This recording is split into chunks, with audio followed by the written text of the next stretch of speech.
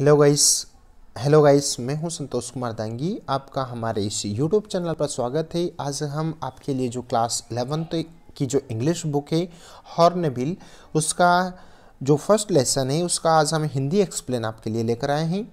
यदि आप चैनल पर नए हैं तो प्लीज़ चैनल को सब्सक्राइब करना ना भूलें। दोस्तों, मित्रों, में शेयर कीजिएगा और प्लीज़ प्लीज़ वीडियो को स्टार्टिंग से लेकर एंडिंग तक ज़रूर देखिएगा, ताकि हम अब तक इसी प्रकार से के जितने भी सारे वीडियोस हैं, हम पहुँचा सके। तो the portrait of a lady written by Khushwant Singh तो the portrait of a lady portrait portrait means क्या होता है? सबसे पहले तो हम ये जानेंगे। पोर्ट्रेट मीन्स होता है एक तस्वीर फ़ोटो है ना? तो एक वृद्ध, एक महिला की तस्वीर, जो कि खुशवंत सिंह ने लिखा है। देखते हैं, हम इसका Hindi explain my grand mother मेरी दादी जी like everybody's grandmother was an old women जो कि जो दूसरे लोगों की जो दादी माँ होती हैं। उनकी दादी माँ के समान एक वृद्ध महिला थी। सी हैड बीन ओल्ड वह एक वृद्धा थी and wrinkled for the twenty years that I had known her मैं उन्हें कम से कम बीस वर्षों से उनको जानता था। उनके चेहरे पर झुरियाँ थी रिंकल्ड थे। प्यूपिल सेड लोग कहते हैं दैट की she had once been young and pretty वह किसी समय बहुत अधिक जवान और सुंदर भी थी and had even had a husband और उनका कोई एक पति भी था। बट किंतु that was an hard to believe इस बात पर विश्वास करना थोड़ा सा कष्टपद था। इस बात पर विश्वास होता ही नहीं था कि भाई उनका भी कोई एक पति होगा। My grandfather's portrait hang above the mantel piece in the driving room जो मेरे दादाजी थे, उनका ड्राइविंग रूम में जो मेंटल पीस यानी कि जहाँ पर अग्नि से संबंधित कार्य किया जाता है, चूल्हा आदि का कार्य, उसके ऊपर उनकी एक तस्वीर लगी हुई थी। ही वोरा बिग टर्बन वहाँ उस तस्वीर में एक बड़ी सी पगड़ी बांधे हुए थे और एंड लूज फिटिंग क्लॉथ्स और थोड़े ढीले ढाले कपड़े उस फ़ोटो में वह पहने हुए थे। His long white beard covered the best part of his chest. और उनका, उनकी जो दाढ़ी थी बियर्ड बियर्ड मीन्स क्या होता है? दाढ़ी। उनकी जो दाढ़ी थी ना, वो उनका जो सीने का जो हिस्सा है, वह, उस सीने के हिस्से तक को वह कवर कर रही थी।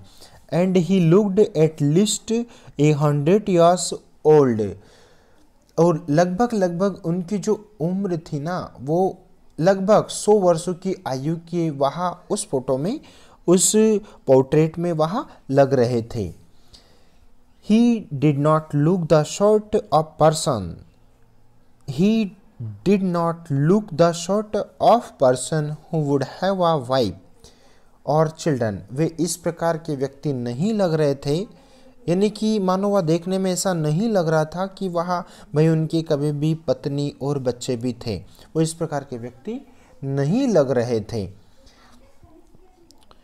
वह he looked as if he could only have lot lots and lots of a grandchildren वे ऐसे दिखते थे जैसे उनके बहुत सारे नाती पोते या बच्चे होंगे। लॉट्स यानी कि बहुत सारे, बहुत ज़्यादा नाती पोते या बच्चे होंगे।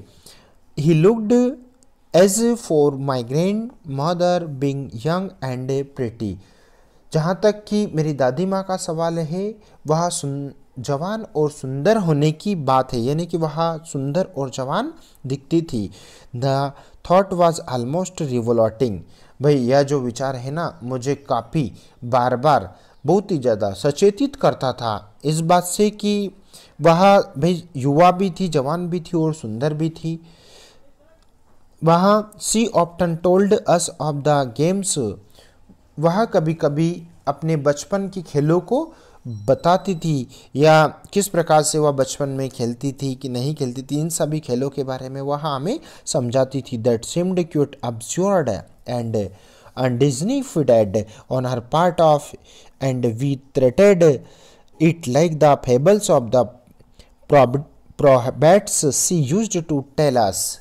वह हमें इस बात से भी यह बार बार हमें समझाती थी, बताती थी कि किस प्रकार से वह हास्यप्रद लगते हुए हमारे साथ में वह कभी तो कहानियाँ सुनाती थी, कभी हमारे साथ में खेल, खेलती थी। इस प्रकार की सारी एक्टिविटीज़ वो हमारे साथ में करती थी। She had always been short वह हमेशा से छोटी थी, यानी कि उनकी जो हाइट थी वह थोड़ी सी शॉर्ट थी, छोटी थी एंड फैट और थोड़ी सी मोटी एंड स्लाइटी बैंट स्लाइटी बैंट यानी कि सामने की ओर थोड़ा सा झुकना, आगे की तरफ़ झुकना।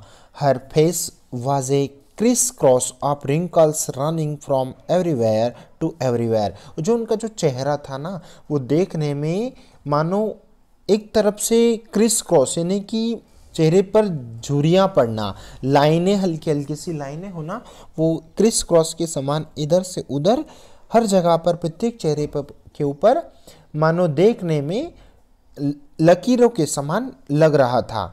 No we were certain. हम जब से उन्हें जानते थे, भाई जब से हम उनके बारे में हमने सुना है she had always been as we had known her वह ऐसे दिखती थी, मानो जैसा कि हम उनको बहुत पहले से ही जानते हैं। ओल्ड, वह वृद्धा। सो, इतना टेरिबली ओल्ड वह इतनी वृद्धा के समान हो सकती थी, जैसे कि जितनी वृद्धा होना चाहिए। She could not have grown older वह वृद्धा के समान जैसे वह कभी भी वृद्धा हो ही नहीं रही है। वो सब हमेशा एक ही समान दिखने में लगती थी। And had stayed at a same age for twenty years और इस प्रकार से मैं उनकी जो जो मैं यदि उनको बार बार यदि देखता था तो सिर्फ़ मुझे इसी बात का मैं लगातार उन्हें 20 वर्षों से एक ही चेहरा, उनके चेहरे में कोई परिवर्तन नहीं हो रहा था और मैं उन्हें लगातार 20 वर्षों से देख रहा था। She could never have been pretty और वह कभी, भाई ऐसा कि वह कभी भी जवान नहीं थी या थी, इस प्रकार का परिवर्तन मुझे कभी भी उनमें देखने को नहीं मिल रहा था। But she was always beautiful किंतु वह हमेशा बहुत ही अच्छी और सुंदर देखने में हमेशा सुंदर थी। She hobbled about the house in spotless white with one hand resting on her waist to balance her stoop she hobbled about the house वह घर में थोड़ा सा लंगड़ाते हुए, यानी कि थोड़ा सा थोड़ा सा झुक कर चलना या लंगड़ाते हुए, वह चलती थी spotless white with the once hand resting on her waist of the balance her stoop और उनका जो हाथ था ना, वो एक हाथ पीछे की तरफ़ उनका एक हाथ पीछे, यानी कि पीछे का जो हिस्सा था, उस पीछे के हिस्से पर वह रख कर थोड़ा सा आगे बेंट होकर चलती थी और वह जिससे मानो देखने में ऐसा लगे कि उनका शरीर का बैलेंस पूरा बना हुआ लगे, ऐसा वो हमें देखने में प्रतीत होता था। And her other telling the beads of her rosary और वहाँ हमेशा इस बात से भी हमें संचित करती थी कि वह दूसरों के हाथ में, अपने हाथ में माला का जपना, यानी कि वह रोजरी रोजरी मीन्स होता है चंदन की माला। वह उस चंदन की माला को है ना, वो हमेशा बार बार बार बार उसको जाप करती थी उससे। Her silver locks were scattered untidily over her pale और उनके जो सपेज, जो बेहतरी, जो बाल थे यानी कि यहाँ पर जो सिल्वर लॉक्स का तात्पर्य, सफ़ेद बाल, उनका बाल से संबंध होना। वो सफ़ेद बाल जो उनके जो थे, वो बेहतर ती बाल के समान, उदास और धसे हुए चेहरे पर बिखरते हुए होते थे। यानी कि जो उनके बाल जो होते थे ना, वो हमेशा खुले उस चेहरे पर रहते थे। पाकार्ड फेस और puckered face and her lips constantly moved in inaudible prayer और उसके बावजूद भी वह हमेशा कभी उनमें उदासपन या धसे हुए चेहरे पर बिखरे हुए बाल, उनके होठ लगातार प्रार्थना करते हुए बुदबुदाते रहते थे। हाँ वह कभी सुंदर भी थी। वह सर्दियों, वह मानो देखने में ऐसा लगता था कि she was like the winter landscape in the mountains वह कभी कभी वह सर्दियों के समान पर्वत के समान सर्दियों में सफ़ेद, स्वच्छ and expanse of pure white serenity breathing peace and contentment यानी कि सनरिटी का तात्पर्य वहाँ पर, जहाँ पर एक खुशनुमा सा चित्र जो दिखाई दे आपको, इस प्रकार से वह स्वच्छ व शांत दिखाई देने वाली मेरी दादी माँ थी कॉन्टेम्प्ट इस प्रकार से यहाँ पर आपका फ़र्स्ट चैप्टर फिनिश होता है, इसका सेकंड चैप्टर हम जल्दी ही आपके लिए लेकर आएँगे। प्लीज़ प्लीज़ यदि आप चैनल पर नए हैं तो चैनल को सब्सक्राइब कीजिए। Thank you for watching this video thank you so much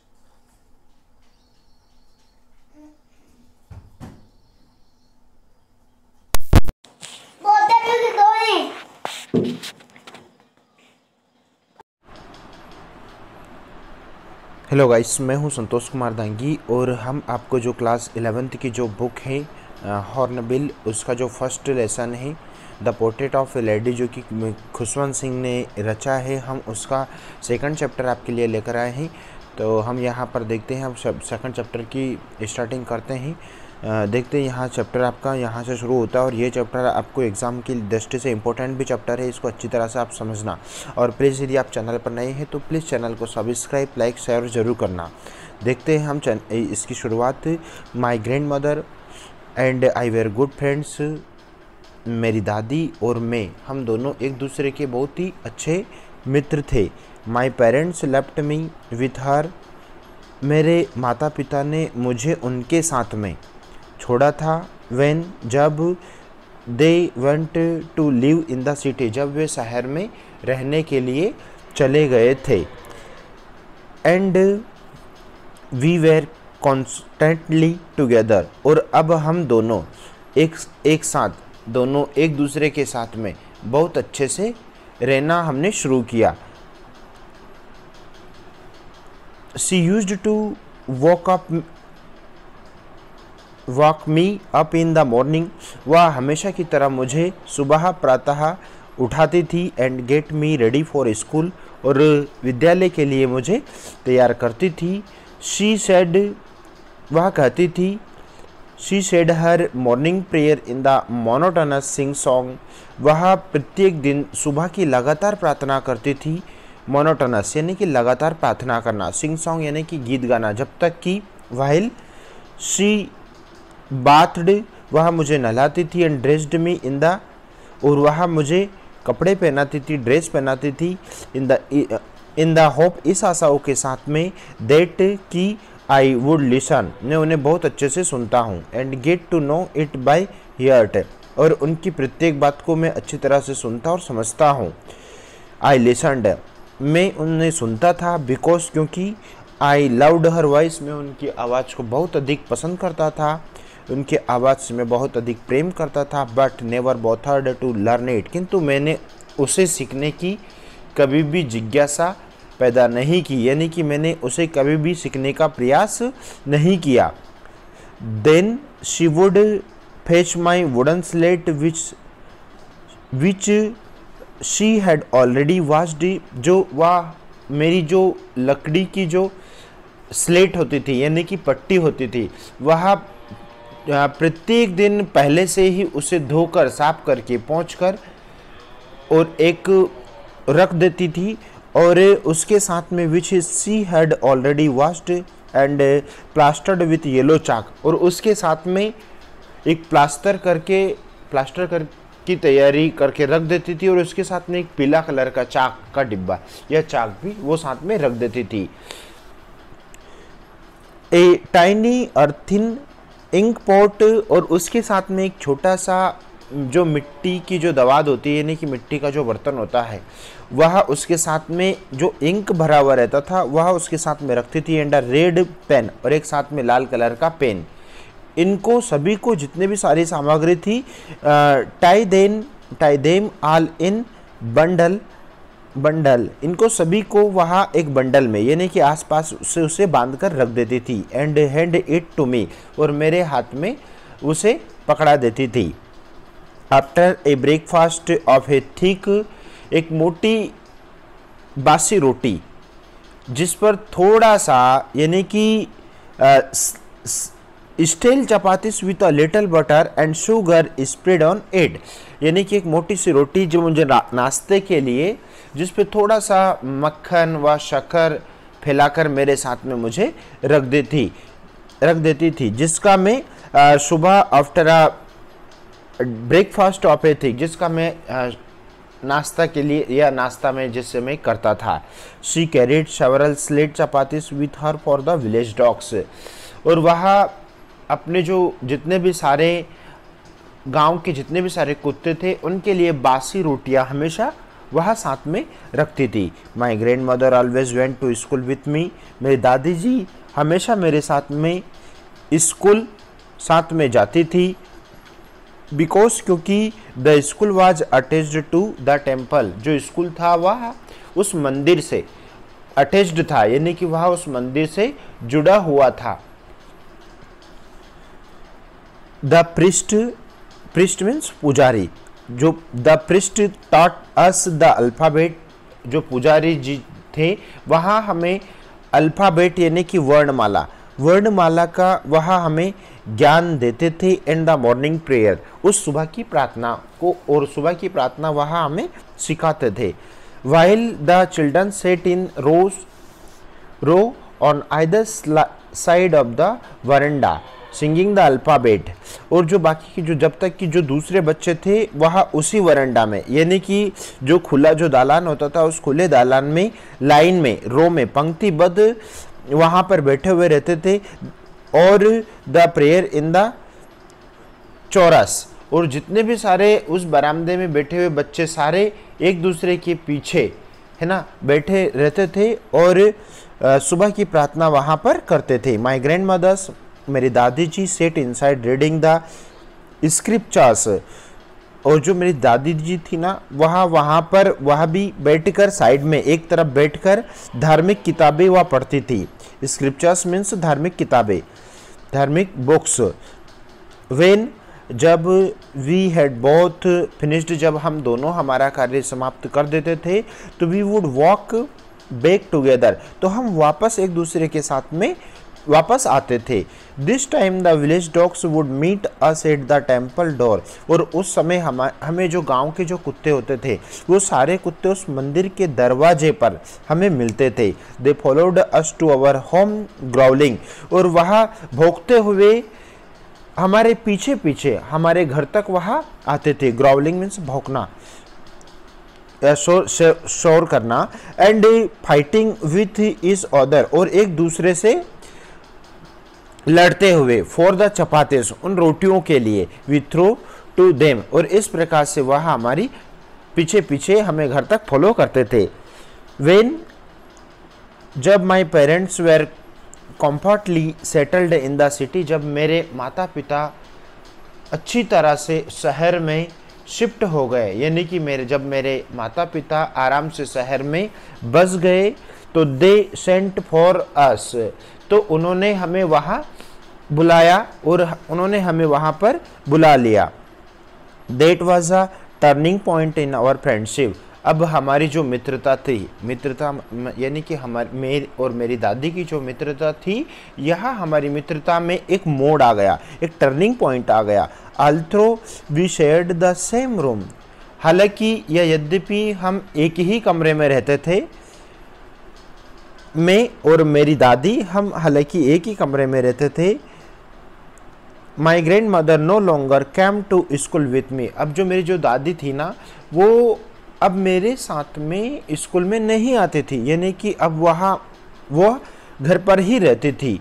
I used to go to an English school in a motor bus क्योंकि अब मैं मोटर बस में अंग्रेज़ी स्कूल जाया करता था। यानी कि मैं अब किसी इंग्लिश मीडियम में या अंग्रेज़ी स्कूल में मुझे प्रवेश दिलाया दिलाया गया था। There were no dogs in the streets अब वहाँ पर गाँव की जो गलियाँ होती थी, सड़कें होती थी, वहाँ पर कुत्ते उन्हें देखने को नहीं मिले, या वहाँ पर कुत्ते नहीं थे। There and she took to feeding sparrows in the courtyard of our city house और हमारा जो जो, अब वहाँ पर क्या होता था कि जो शहर में जब वो जैसे ही चले गए तो वहाँ पर उसे चिड़ियों को रोटी खिलाने का काम शुरू उन्होंने कर दिया।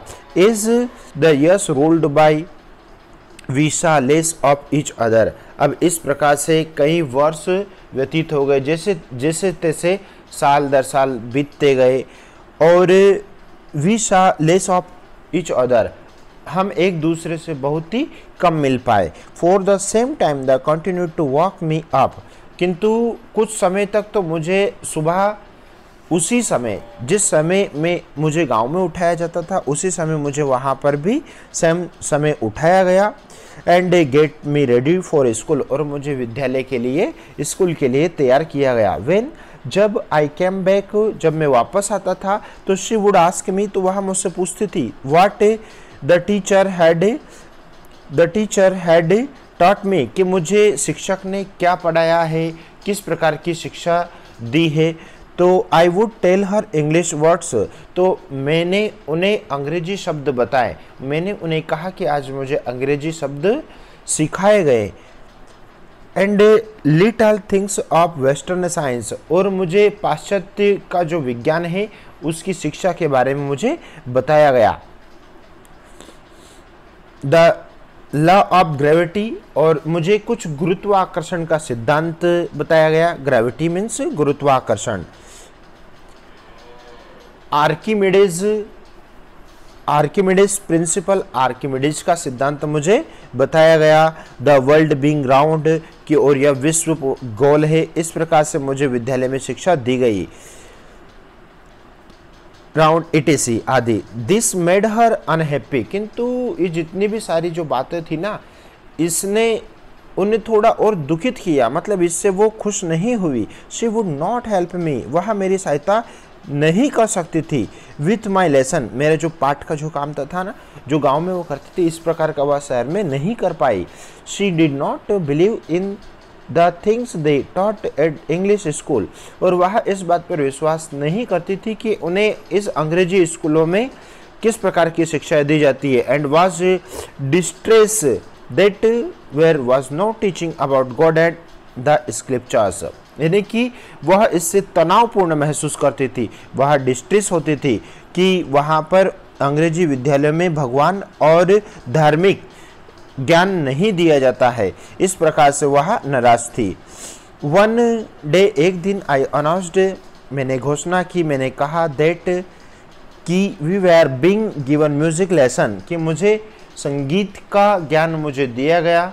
एक दिन मैंने कहा कि मुझे संगीत की शिक्षा मुझे दी गई तो सी वॉज़ वेरी डिस्टर्ब तो वह उससे बहुत अधिक बाधित हुई मतलब वह उससे नाराज़ हुई, क्योंकि to her music had lewd association भाई, उनका मानना है कि जो संगीत होता है ना, वो उनके समाज में, उनके रहन सहन में ये ठीक नहीं है। It was the monopoly of harlots and beggars भाई, उनका मानना ये था कि जो संगीत का जो काम था ना, वो यह, भाई जो नीचे लेवल के लोग हैं भिकारी है या वेश्याएँ हैं, इन, इस प्रकार के लोगों को वह समझते थी कि इस प्रकार के लोग संगीत का काम करते हैं। And not meant for gentle folk और वह किसी सभ्य व्यक्तियों के लिए नहीं होता था कि किस प्रकार से कैसे उन्हें ज्ञान मिले। सी सेड नॉथिंग वह मुझे कुछ नहीं, उन्होंने मुझे कुछ नहीं कहा। But her silence meant disapproval किंतु उनकी जो चुप्पी थी ना मतलब कि वो किस प्रकार से शांत थी, इसका मतलब ये स्पष्ट लगता था कि वह उससे असहमत थी। उससे वह सहमत नहीं थी। She rarely talk talked to me after that है। किंतु इसके बाद में वह मुझसे कभी कभार ही बोलती थी। मतलब उसके बाद में वह ज़्यादा समय तक मुझसे बात नहीं करती थी। When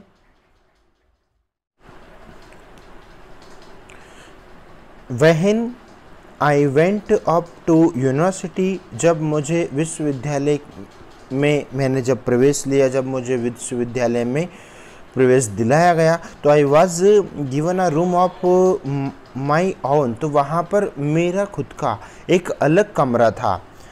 The common link of friendship was snapped अब जो हमारी जो मित्रता की जो लिंक थी, जो कड़ी थी स्नैप्ड मीन्स कड़ी, जो हमारी जो मित्रता की कड़ी थी, वह धीरे धीरे टूटती सी लग रही थी। यानी कि वह उससे भी हम दूर होते जा रहे थे। My grand mother accept her seclusion with resignation, जो मेरी दादी थी ना, जो मेरी दादी ने अपने एकांत को विकृत करते हुए सेक्लूशन मीन्स एकांत एकांत को विकृत करने का, अब धीरे धीरे एकांत में रहने का उन्होंने उसे स्वीकार कर लिया कि भाई अब मैं धीरे धीरे मुझे अब अकेले को ही रहना है। She rarely left her spinning wheel to talk to anyone अब उसके बाद में उन्होंने क्या क्या किया कि अब वहाँ कभी कभी तो अपने जो एक चरखा होता था, जिससे वह धागे का काम करती थी, उस चरखे को किसी से बात करने के लिए रोकती थी। भाई, वहाँ एक दूसरे से बात करना उन्होंने थोड़ा थोड़ा कम कर दिया। From sunrise to sunset she sat by her wheel spinning अब वह यानी कि सुबह से लेकर सूर्य उदय से होकर तो सनसेट यानी कि सूर्य अस्त तक वह अपने चरखे के पास में बैठती थी और चरखे में ही काम करती थी एंड रिसाइडिंग प्रेयर्स और वह प्रार्थना किया करती थी रिसाइटिंग करती थी, यानी कि प्रार्थना करती थी। Only in the afternoon only in the afternoon she relaxed for a while to feed the sparrows. मात्र वह जो दोपहर का जो समय होती थी, उसमें थोड़ा बहुत आराम करती थी और उस थोड़े से आराम में वह चिड़ियों को भोजन कराती थी, यानी कि चिड़ियों को वह दाना देती थी। स्पर्स मीन्स चिड़िया। While she sat in the verandah breaking the bread into little bits और जो बरंडा होता था, उसमें वह बरामदे में छोटे से, जो छोटे मोटे जो टुकड़े होते थे ही, उन टुकड़ों को वह बैठकर सैकड़ों चिड़ियों में चारों तरफ़ इधर उधर बिखेरती थी और ताकि उन चिड़ियों को वह खाना खिलाती थी। Hundreds of little birds collected around the creating a veritable bedlam आमचर of chirpings जो भाई सैकड़ों से अधिक, यानी कि कहीं सारी चिड़िया उस बरामडे में उन्हें देखने को मिलती थी और कई सारी चिड़िया चहकते हुए, आवाज़ करते हुए अपने उन सारी वहीं उस बरामडे में एकत्रित हो जाती थी और कोलाहल करते हुए वहीं पर वो खाना खाने के लिए आती थी। कुछ चिड़िया some even sat on her head और कुछ चिड़िया तो उनके कंधों पर, उनके टांगों पर, उनके पाँवों पर या उनके मस्तिष्क पर आकर बैठ जाती थी। उनके सिर पर बैठ जाती थी। Smiled but never shooed them away वह उनसे कभी भी बोर नहीं होती थी। और वह उन्हें देखकर बहुत अधिक मुस्कुराती थी और उनसे भी वो चिड़िया नहीं डरती थी। It use to be the happiest half hour of the day for her और उनका जो पूरा जो दिन होता था, यह समय उनके लिए दिन का सबसे खुशनुमा समय होता था, बहुत ही अच्छा समय होता था। वेन जब I decided to go abroad for future studies जब मैंने आगे अध्ययन के लिए विदेश जाने का निश्चय किया तो आई वॉज़ श्योर तो मुझे पक्का विश्वास था कि that my grand would be upset my grand mother would be upset कि मेरी दादी अशांत हो जाएगी। भाई, मेरी दादी जी, है ना? वो अब इतना खुश नहीं रहेगी। I would be away for five years मैं पाँच वर्षों के लिए उनसे दूर रहूँगा। और and at her age one could never tell और उनकी उम्र को देखते हुए कोई नहीं कह सकता था कि क्या होगा। भाई, कुछ भी हो सकता था, उनकी उम्र बहुत ही ज़्यादा हो चुकी थी। But my grand mother could किंतु मेरी दादी कहा नहीं सकती थी। भाई, मेरी दादी ने मुझे कुछ नहीं कहा। She was not even sentimental वह भावुक भी नहीं हुई। भाई, इतना बेचैनी सेंटिमेंटल मीन्स भावुक होना। वह इतना अधिक भावुक नहीं हुई कि मेरा जाना और नहीं जाना क्या उनके ऊपर कोई प्रतिक्रियाएँ नहीं हुई। She came to leave me at the railway station वहाँ मेरे साथ में मुझे रेलवे स्टेशन पर छोड़ने आए, किंतु बट डिड नॉट टॉक किंतु वह मुझ, उन्होंने मुझसे कुछ नहीं कहा और शो एनी इमोशन किंतु और उन्होंने कुछ इस प्रकार के भाव भी नहीं दिखाए. इमोशन मीन्स भाव. Her her lips moved in prayer धीरे उनके जो होठ थे वो प्रेयर कर रहे थे प्रार्थना के लिए बार बार हिल रहे थे। Her mind was lost in prayer किंतु उन्होंने अपने जो प्रेयर्स थी प्रार्थना थी वह उससे बिल्कुल भी नहीं भटकी। यानी कि वो अपनी प्रेयर में लगी रही। Her fingers were busy telling the beads beads of her rosary और उनके जो हाथ थे उंगलियाँ थी वो उस मा, माला को जपने का काम वो लगातार जारी रख रही थी। साइलेंटली चुपचाप she kissed my for forehead उन्होंने चुपचाप मेरे मस्तिष्क को, मेरे आगे के हिस्से को चूमा। एंड वेन जब आई लेफ़्ट जब मैंने उन्हें छोड़ा तो I cherished the moist imprint as perhaps the last sign of physical contact between us भाई, उन्होंने उसका जो, जब उन्होंने मेरे मस्तिष्क को चूमा, मेरे सिर को चूमा, जब मैं वहाँ चला तो मुझे ऐसा लगा कि यह चुम्बन उनके व मेरे भी शायद अंतिम शारीरिक संपर्क होगा। यानी कि इसके बाद में शायद अब हम नहीं मिल पाएँगे, ऐसा राइटर ने सोचा। But that was not so किंतु ऐसा कुछ नहीं हुआ। जैसा राइटर ने सोचा था, किंतु ऐसा कुछ भी नहीं हुआ। After five years I came back home भाई पाँच वर्ष के बाद में जब राइटर वापस अपने घर आया and was met by her at the station तो उनकी दादी उन्हें वापस स्टेशन पर मिलने आई। She did not look a day older वह एक दिन भी ज़्यादा बुढ़ी नहीं लगी। यानी कि वो पहले की, जैसे पहले थी, वैसा का वैसे ही राइटर को उनकी दादी दिखी। She she still had no time for words अभी भी उनके पास में शब्दों का कोई समय नहीं था। यानी कि उन्होंने राइटर से कोई ज़्यादा बात नहीं की। And while she clasped in her arms I could hear her reciting her prayers और जब उन्होंने मुझे अपनी बाहों में लिया तो मैंने उन्हें प्रार्थना करते हुए सुना। यानी कि जब उनको राइटर ने रेलवे स्टेशन पर अपने गले से लगाया तो उस वक्त भी वह रिसाइटिंग कर रही थी, प्रार्थना कर रही थी। Even on the first day of my arrival मेरे आने के पहले दिन भी उनकी खुशी भरे क्षण मुझे दिखाई दिए। Her happiest moment were with her sparrows whom she fed longer and with frivolous rebukes और वह उन्होंने उसके बाद में क्या काम शुरू कर दिया कि उनके जो चिड़ियों के जो क्षण होते थे, यानी कि वह चिड़ियों को के साथ में जिन्हें उस दिन उन्होंने ज़्यादा देर तक खाना दिया और मधुर झिड़कियाँ भी दी। यानी कि जो चिड़िया होती थी, उनको वह खाली समय में खाना खिलाने का काम उन्होंने किया। In the evening a change came over her किंतु उस शाम शाम को उनमें एक परिवर्तन आया। शी डिड नॉट प्रे उन्होंने प्रार्थना नहीं की। She collected the women of the neighbourhood उन्होंने जो पड़ोस आड़ोस पड़ोस की जितनी भी सारी स्त्रियाँ थी, महिलाएँ थी, उनको उन्होंने इकट्ठा किया।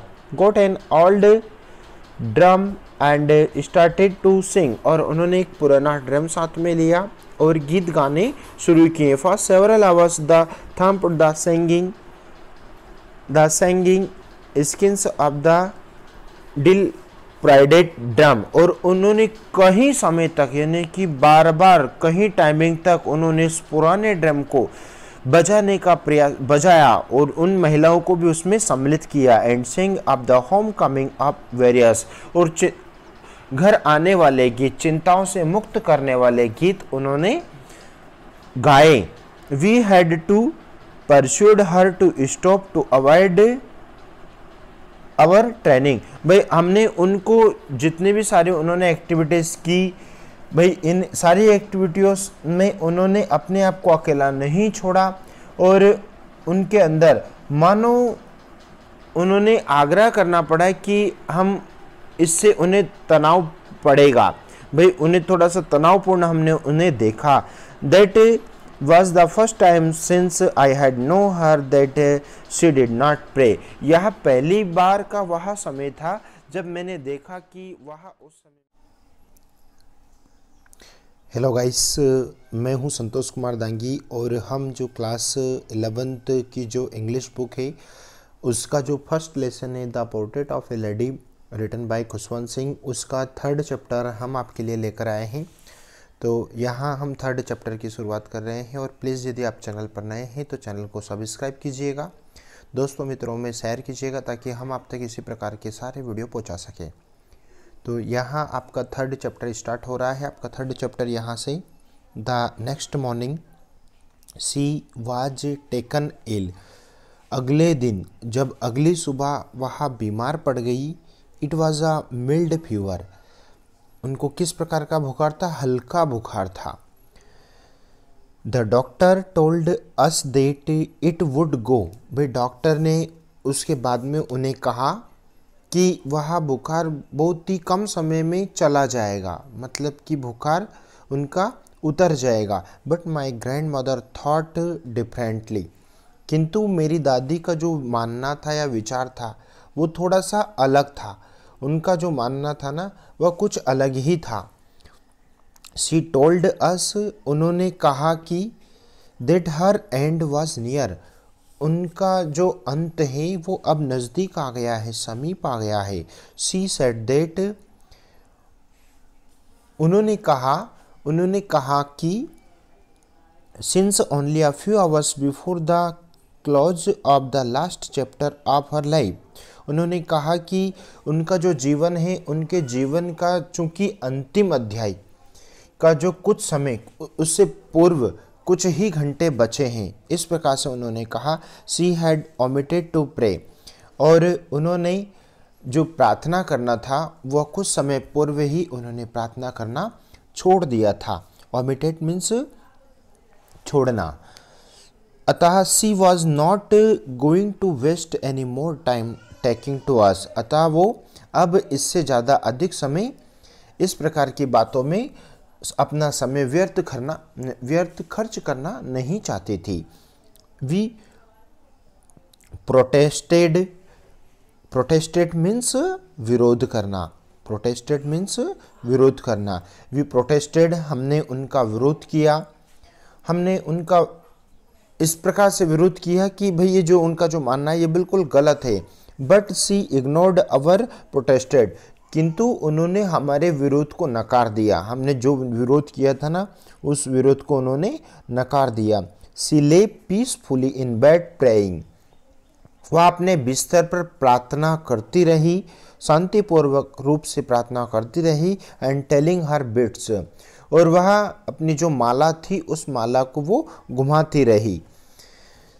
Even before we could suspect इस, इसके पहले कि हम उनके ऊपर शक करें सस्पेक्ट करें मीन्स शक करें कि भाई जो उनका जो ऐसा विचार था कि जो राइटर की माँ थी, कि वो जो बोल रही है, वो सब गलत है, उनका जो विचार है, ऐसा मानना, ऐसा बिल्कुल भी कुछ कुछ भी नहीं है। हर लिप्स स्टॉप मूविंग उनका जो जो होट का जो चलना था होट जो हिलना था, वो अचानक बंद हो गया था and rosary fell from lifeless fingers और उनके हाथ की जो माला थी, माला उनकी उंगलियों से नीचे गिर गई।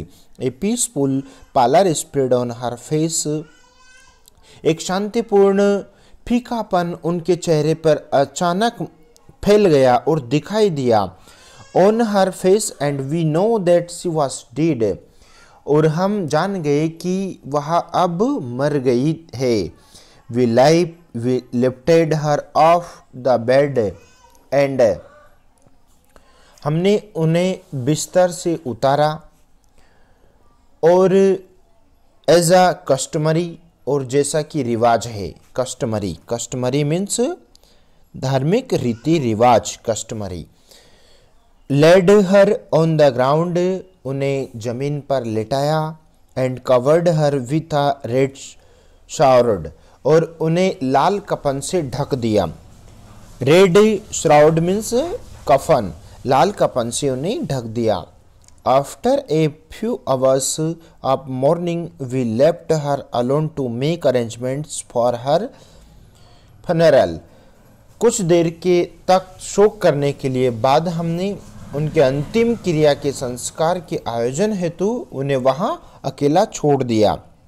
In the more in the evening we went to her room जब दूसरे दिन शाम को जब हम उनके कमरे में गए with a crude stretcher to take her to a cremate तो अंतिम संस्कार के लिए हम उनके पास में जब गए तो हमने वहाँ पर पाया कि द सन वॉज़ सेटिंग सूर्य अस्त हो गया था and had it lit her room and verandah with a blaze of golden light भाई, जब वहाँ पर सूर्य अस्त तो हो ही चुका था, उनके कमरे व बरामदे में और उनके कमरे में जहाँ से मृत अवस्था में उन्हें लाल कफन से ढका गया था।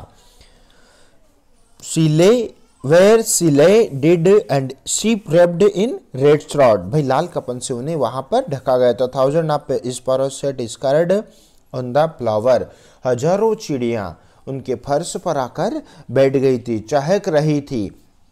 उनके अंदर आज कोई चाहचाट नहीं थी। भाई वो चिड़िया जो थी वो उस दिन देर वॉज़ नो चार्चिंग वो उन, उस दिन वो चहक नहीं रही थी। We felt sorry for the birds हमने उन पक्षियों को से माफ़ी मांगी and my mother fetched for some bread for them मेरी माँ ने उन पक्षियों के लिए कुछ रोटियाँ लेकर आई। She broke she broke it into little crumbs और उन रोटियों को उन छोटे छोटे टुकड़े करके उन पक्षियों के सामने रखे। The way my grandmother used to जैसा कि मेरी दादी माँ हमेशा करती थी, वैसा मेरी माँ ने किया and threw it to them और उनके सामने ये सारे रोटी के टुकड़े फेंक दिए. The sparrows took no notice of the bread वो जो चिड़िया थी, वो जितनी भी सारी चिड़िया ने उन पर जरा सा भी ध्यान नहीं दिया कि उनके सामने खाना पड़ा हुआ है.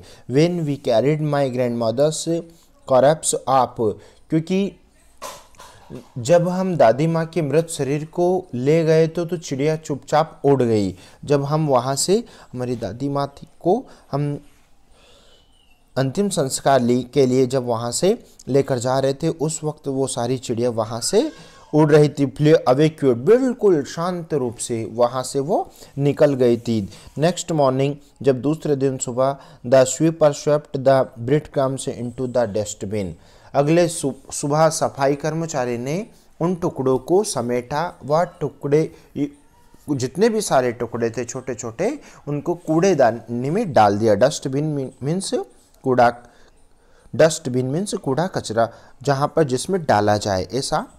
क्रम्स मीन्स छोटे छोटे टुकड़े करना। इस प्रकार से ये आपका जो लेसन फ़र्स्ट है the portrait of a lady ये फिनिश्ड होता है। और प्लीज़ यदि आप चैनल पर नए हैं तो चैनल को लाइक कीजिएगा शेयर कीजिएगा सब्सक्राइब कीजिएगा, ताकि मैं आपको ये एलेवंथ की जो बुक्स है, इसका होल डिटेल आप तक मैं पहुँचा सकूँ। Thank you take care of you